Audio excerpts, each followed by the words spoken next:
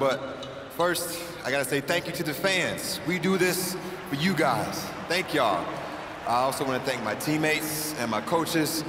None of this happens without the right people and the right system in place. And um, finally, I want to thank my family and my friends. Thank y'all, especially my dad and my grandpa for giving me all the support I could ever ask for.